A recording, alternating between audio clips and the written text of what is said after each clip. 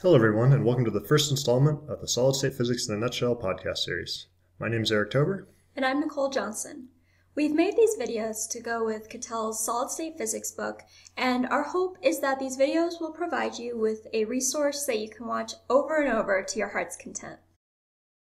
Often in solid state, we care about properties, stuff like magnetism and superconductivity, but to get to these properties, we need to understand the underlying structure of solids. Today we're going to start with covalent bonding in solids, as this is the basis of so many important materials. Mm, sounds a bit tricky.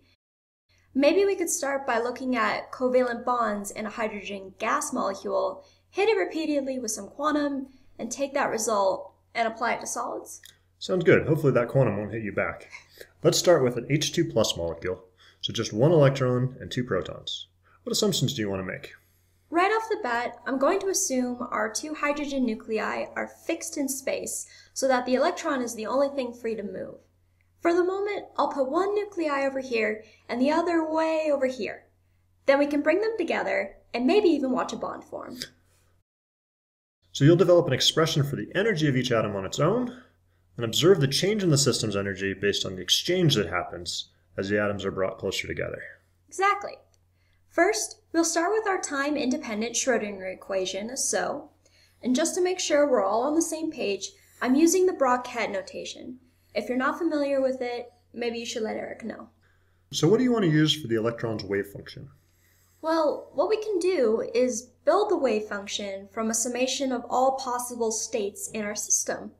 And since we only have two atoms, the wave function is made up of a whopping two states each with its own weighing coefficient, Ca and Cb. And the states phi A and phi B represent the states of the isolated hydrogen atoms that we're bringing closer together? Right. Taking this now and shoving it through our Schrodinger's equation yields this somewhat complicated equation, and from this we can develop two secular equations by taking the inner product once with phi A and once with phi B. These two equations are nice in the sense that now everything is either an integral or a constant.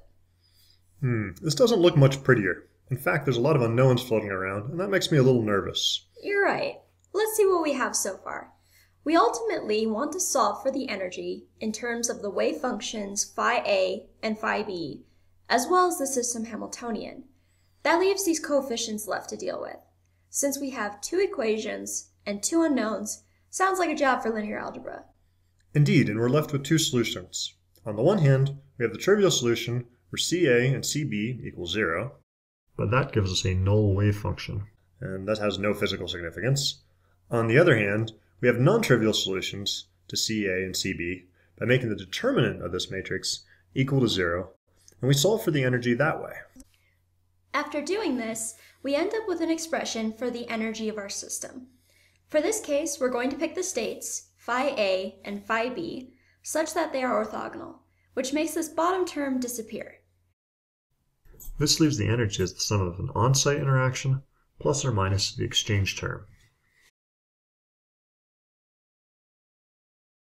This exchange term is pretty critical. It describes the interaction of the two atomic wave functions via the system's Hamiltonian. The exchange term also leads to an energy splitting where we have two energy levels.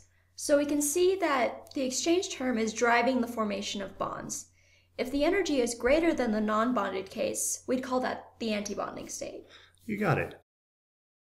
To drive the point further, let's plot our wave function and electron density for both cases. Let's start with bonding.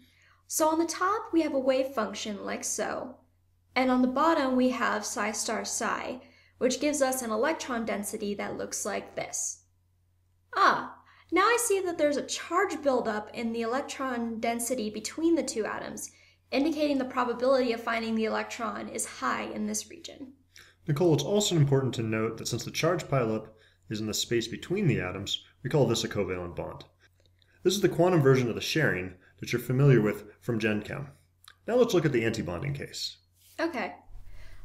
Ah, the wave function here has a positive part and a negative part. So when you take psi star psi, you get a truly zero value for the electron density between the two atoms. So now if we take our expression for the bonding and antibonding energies, and plot them as a function of distance between the two atoms, we first off can see there's no splitting at large r, because at that point the atoms are still isolated. But as they're brought closer together, the energies start to split. What may not be inherently obvious is this sharp rise here on the left. Have any guesses, Nicole? Well, as you start to push them closer than their equilibrium distance, you'll start to see Coulombic repulsion. The more you try to push them together, the more they'll repel each other, which is why the energy rises sharply. Bingo. And in atoms where we have core states, we also have to think about the Pauli exclusion principle. Overlapping the core states of two atoms will further increase this rise in energy. Why don't we move over to helium? It seems simple like hydrogen, so why don't we see bonding between helium atoms? Well, I know as the helium atoms get closer together, there will be a split in energy levels just like hydrogen. Because each helium atom has two electrons, there are now four electrons in the system, and they'll populate both the bonding and antibonding states. And the combination of the two should give us a minimal net driving force, which basically results in no bonding. You know, Eric, I'm feeling pretty good about bonding in a gas molecule. Bring on the solids. All right, let's start with carbon as an example. It likes to form in the diamond structure and has s, px, py, and pz orbitals. So from the molecular orbital approach, it would seem like carbon would have six nearest neighbors. But we know diamond is a four-coordinate structure. Yeah, you're right to be confused. This isn't really obvious. We'll need to introduce another concept called hybridization. In quantum, when we developed the atomic orbitals, we assumed the atom was isolated and in a vacuum, right? Right, but in a real solid that isn't the case. Exactly. In hybridization, these atomic orbitals reconstitute themselves into different orbitals. And you can see how we go from the original s and p orbitals to new hybrid orbitals from this table. So the values in the table are just weighing factors for the original s and p orbitals? Bingo. And in the case of carbon, its s and 3p orbitals hybridize into four sp3 orbitals that form a tetrahedra. Each of these uh, hybrid orbitals will look like this.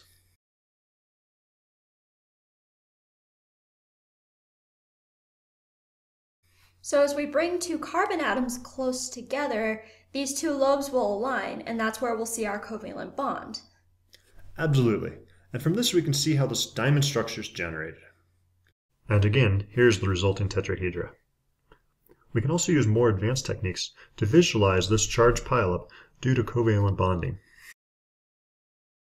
So what hybridization might you see for the graphene structure?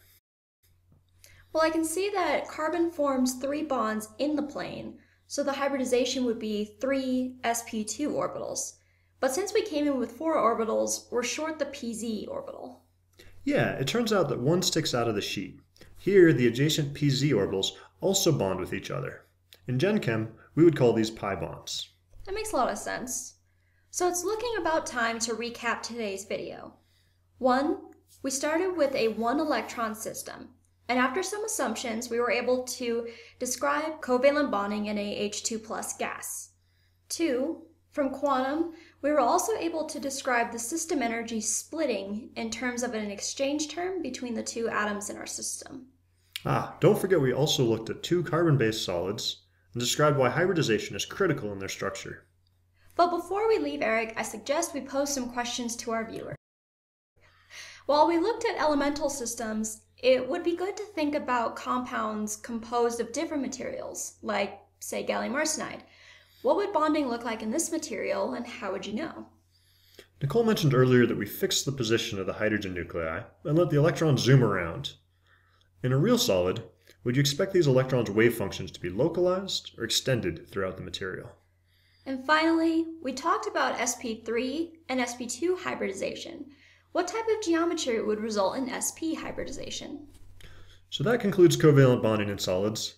Next time, Nicole and I will be delving into different types of bonding and what forces drive each.